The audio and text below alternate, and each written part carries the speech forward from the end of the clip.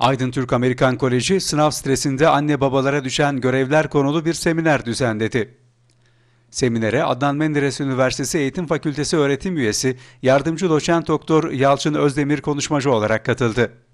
Bunlar yani genelde işte karar alma mekanizmaları vardır bizim adımları, sorun çözme adımları bilmem ne. Bunlar e, farklı basamakları vardır ama üç temel basamağı vardır. Yani durumu algıla, sana göre en yararlı doğru olanı seç, eyleme geç bir disiplin bir şekilde eylemi sürdür.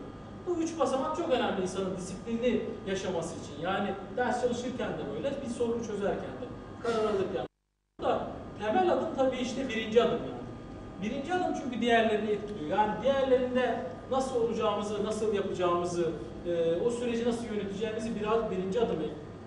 Ona saygı duyulan bir kişi olarak algılayan çocuk tabii daha çalışmaya karar veriyor. Yani o derse daha çok sahip çıkıyor. Bu üniversitede de böyle, burada da böyledir. Yani gerçekten biz üniversitede çalışıyoruz.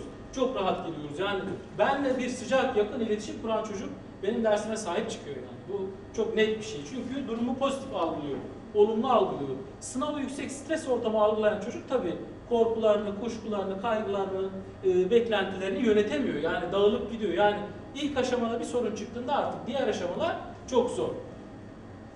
Evet, buradan devam ettiğimizde e, motivasyon, algı, başarı arasındaki ilişkide temel belirleyici ne o zaman diyoruz? Madem işte algılar önemli, anne babalık işin içine giriyor. Burada yavaş yavaş bu devreye giriyor. Yani anne babalık yaklaşımları da var bilmem ne onlara da geleceğiz ama öncelikle bir kere hani anne baba olarak görevimiz çocuğu tanımak.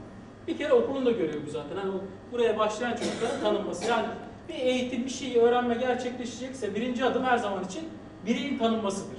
Yani bunu yapmadan bir işe başlamanız tamamen saçma bir şey zaten. Hani çünkü beklentiler, ilgiler, e, psikolojik durum neyse onlar onları bilmeniz gerekiyor ki onun üzerine bir şey kurabilelim. O nedenle hani tanımak önemli.